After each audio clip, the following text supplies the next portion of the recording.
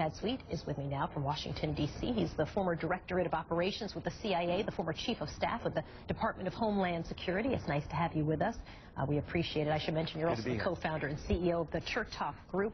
Uh, so the signs that I've just mentioned and kind of listed there are, are very ominous, not just for folks here in the United States who worry about the role of the United States, but also for people in the region and, and outside the region, too. Does this mean that we have operatives who are filling us in on what's happening with these chemical weapons components and the degree to which they're being combined and put together and put onto these warheads? And so that it's highly uh, likely that a combination of sources have provided this intelligence. Some of it's coming from human intelligence, spies on the ground from both our, our spies as well as our allies of uh, the Saudis, Mukhabarat, or the Israeli Mossad, uh, and the Turkish intelligence. But the bottom line is uh, it's coming also from a variety of technical means, signals intelligence, uh, satellite imagery. And the signs are all pointing towards some type of mobilization where these chemicals are being locked and loaded on bombs that, at a minimum, shows potential intent to use them. How reliable is this information? I mean, we're talking about the most critical thing, right? The approach to the red line. So how certain are we of what we're seeing and the information we're getting?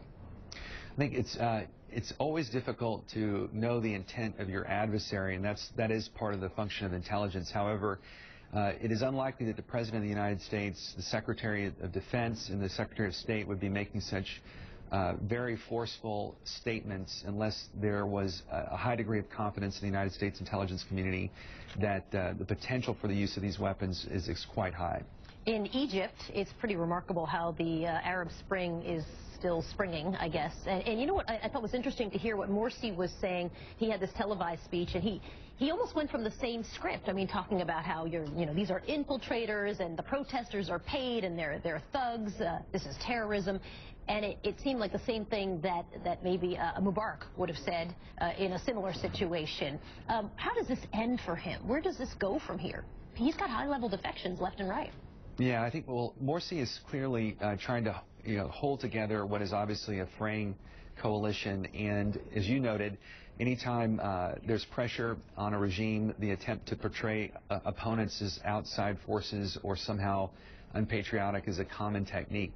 Uh, but that's also, by the way, the reason why Assad in Libya I'm sorry, in Syria may in fact use the chemical weapons against his opponents, right? Which is you portray your opposition as someone from the outside or, at a minimum unpatriotic, and that's exactly why, if the, it comes down to it, Assad could in fact use chemical weapons against them. He does not see them as part of the actual Syrian uh, people.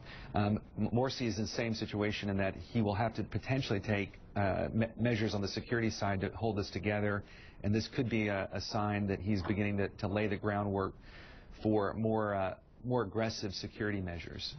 Chad Sweet is a co-founder and CEO of the Chertoff Group joining us.